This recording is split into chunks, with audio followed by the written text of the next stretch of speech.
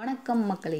Welcome back to our channel tea time இந்த வீடியோவில் ஃபோபியானா என்ன அப்படின்னு தெரிஞ்சுக்கலாம்.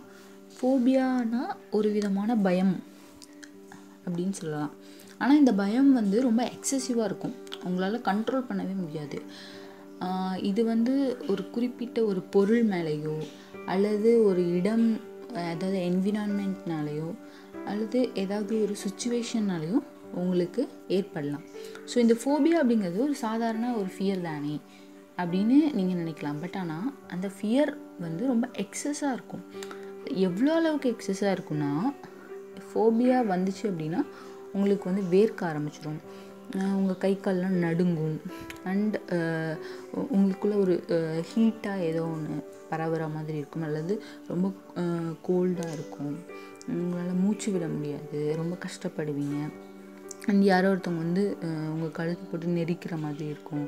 உங்கள் ஹார்ட் பீட் வந்து ரைஸ் ஆகும்.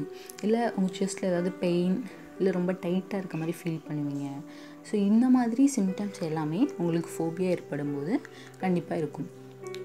ஓகே ஸோ இந்த வீடியோவில் டைப்ஸ் ஆஃப் ஃபோபியா என்னென்ன ஃபோபியாஸ் இருக்குது அப்படின்னு சொல்லி தான் பார்க்க போகிறோம் அதாவது டாப் ஃபிஃப்டி ஃபோபியாஸ் என்ன அப்படின்றது தான் இந்த வீடியோ